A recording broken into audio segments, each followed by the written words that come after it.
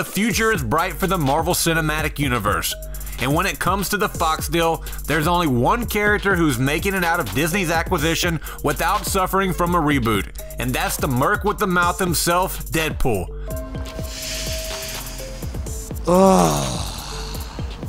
I'm touching myself tonight. New production listings might indicate Deadpool 3 is already in the works.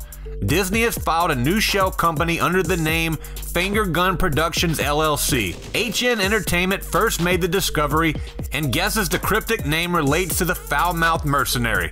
The company is described as Guns and Ammo, which also alludes to Wade Wilson's return. Aside from the character's bloody nature, Deadpool frequently poses with his fingers in a gun pose. The site says Finger Guns Productions LLC could relate to the upcoming Hawkeye on Disney Plus, but notes this would be unusual considering Clint Barton and Kate Bishop use bows and arrows. Only last month, Deadpool 2 writers Rhett Reese and Paul Wernick confirmed Disney has signed off on R-rated sequels, reigniting hopes for Deadpool 3. Meanwhile, a second report about Deadpool 3 sheds more light on Marvel's plans. According to We Got This Covered, Marvel Studios is considering a crossover between Deadpool and a few other Avengers. The studio is eyeing Spider-Man, Nick Fury, and the new Captain America. While it is an interesting scoop, we would suggest you take this story with a grain of salt.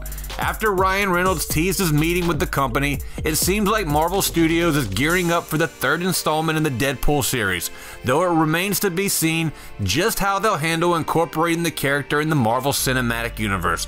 With Marvel's yearly film slate expanding on top of multiple Disney Plus shows, as well as inheriting the output of Marvel Television, it will be interesting to see just where Deadpool shows up next. Are you excited about the possibility of Deadpool 3? Let us know your thoughts in the comments below.